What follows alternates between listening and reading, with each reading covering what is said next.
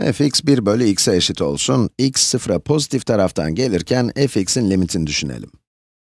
İşimizi kolaylaştırmak için buraya bir tablo çizeceğim. Şimdi, buraya x'i, buraya da x'e verdiğimiz değerlere göre fx'in ne olacağını yazalım.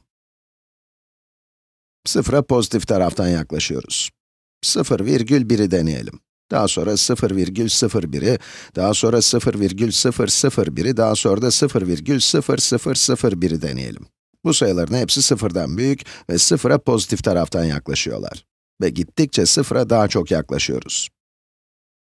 x 0,1 iken fx 1 bölü 0,1 olacak, yani 10 olacak. 1 bölü 0,01 için 100 olacak, 1 bölü 0,001 için 1000 olacak. 1 bölü 0,0001 için de 10.000 olacak. x'ler sıfıra pozitif taraftan yaklaştıkça fx'ler çok hızlı büyüyorlar. x sıfıra pozitif taraftan giderken fx'in limiti pozitif sonsuza eşit olacak veya sadece sonsuz yazabiliriz. Buraya sıfıra çok yakın bir sayı koyarsak, ondalık tarafta 7 basamaklı bir sayı 0 virgül 0 0 0 0 0 0 1 olacak ve 1 bölü bu sayı 10 milyona eşit olacak. Doğru yaptık mı? Burada ondalık tarafta 4 basamak vardı, 4 sıfır koyduk. Burada ise 1, 2, 3, 4, 5, 6, 7 basamak ve burada da 7 adet sıfır. Gördüğünüz gibi sıfıra pozitif taraftan yaklaştıkça fx büyüyor, büyüyor, büyüyor ve tamamen sınırsız. Bu sonsuza eşit diyebiliriz. Şimdi diğer bir limit düşünelim. Bu sefer x sıfıra negatif taraftan yaklaşsın.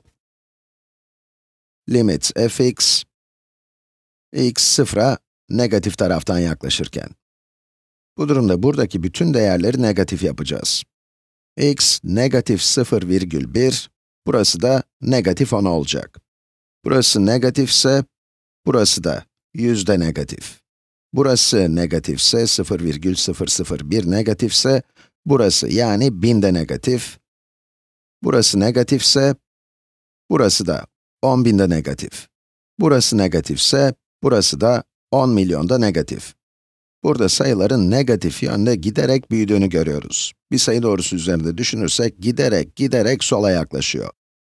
O zaman x sıfıra negatif taraftan yaklaşırken fx'in limiti negatif sonsuza eşit olacak.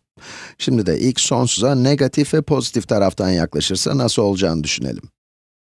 Limit fx, x sonsuza giderken. Daha önce yaptığımız gibi tablomuzu oluşturalım. x ve fx. x 10 iken fx 1 bölü 10 olur. Çok daha büyük sayıları yazacağım. x 1000 iken fx 1 bölü 1000 olur. x 1 milyon iken fx 1 bölü 1 milyon olur. 1 bölü 1 milyon. X pozitif yönde büyüdükçe, büyüdükçe, büyüdükçe fx giderek, giderek, giderek sıfıra yaklaşıyor. Yani x sonsuza giderken fx'in limiti sıfıra eşittir diyebiliriz.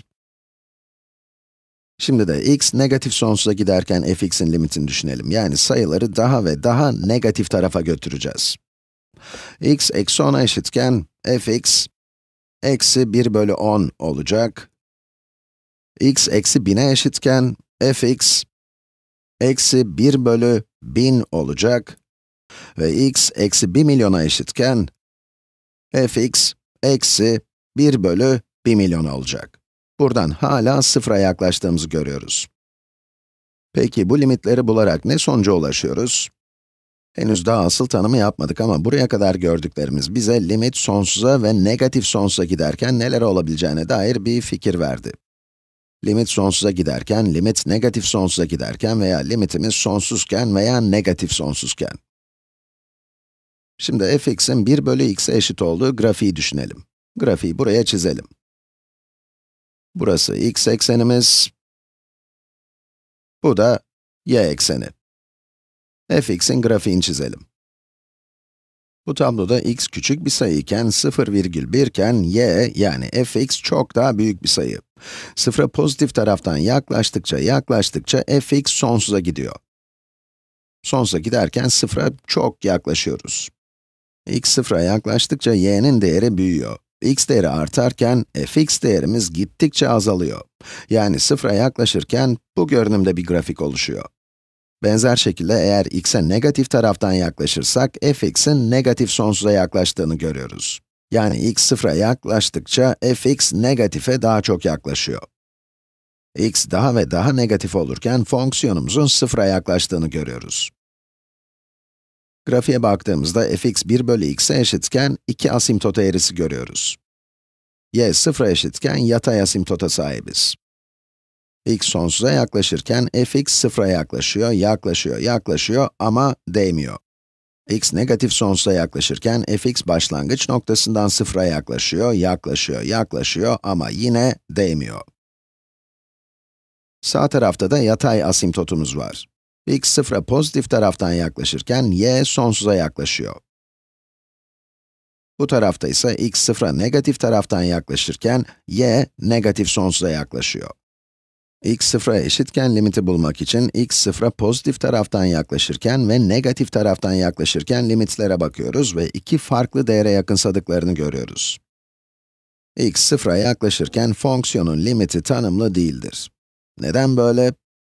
Çünkü sıfıra pozitif taraftan yaklaşırken ulaştığımız değerle sıfıra negatif taraftan yaklaşırken ulaştığımız değer birbirinden farklı.